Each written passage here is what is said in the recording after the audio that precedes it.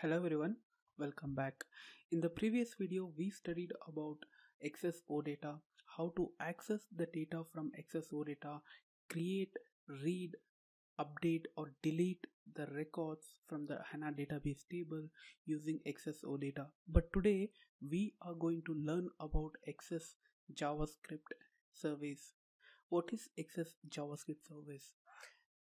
It is a type of XS service from HANA which lets the user to read the data from a database table or a views or a procedure and it also provides the flexibility to write the record into the HANA database table and delete a particular record or update a particular record.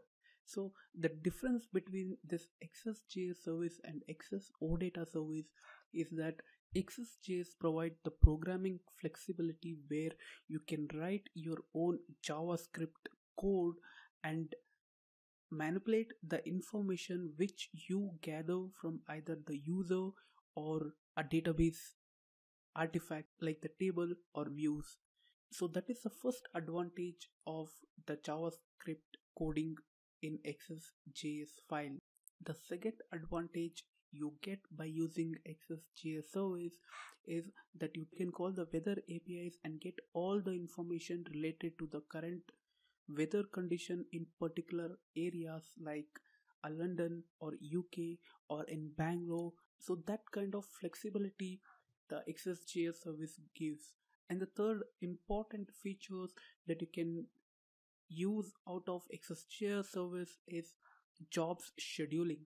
You can schedule a job for XSJS service which you may choose to run every 5 minutes or 10 minutes or every second or every day or every year and that service will be repeated again and again. So that is a use of job scheduling and you can use the job scheduling option in your XSJS service so now we will talk about the steps to create an XSJS service. At first, I will give you an overview about how I'm going to approach in creating XSJS service.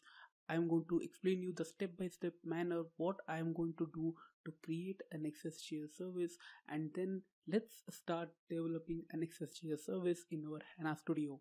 So these are the steps to create an XSJS service and at the first step I am going to create an empty XSJS service and show you how to create your own XSJS service. In the second step, I am going to return a message from our XSJS service specifying the current user who is using the Access.js service. And in the third step, I am going to explain you what are the HTTP methods and how to make use of the get, post, delete, update methods in XSJS service.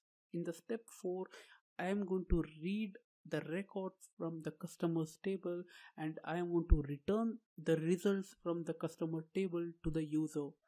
In the step 5, I am going to use the input parameters from the user and I will use that parameter in our XSJS service to filter the record. In the step 6, I am going to explain you how to call a procedure in our XSJS service, how to pass an input parameter to our procedure and how to read the records which is the output parameter from the procedure and return that result to the user and in the step 7 i am going to demonstrate to you how to insert the records to the customers table and demo it to you and in the step 8 i am going to update a particular record in the customers table return the status of update statement to the user and in the step 9 I am going to tell you how to delete a particular record from the database table.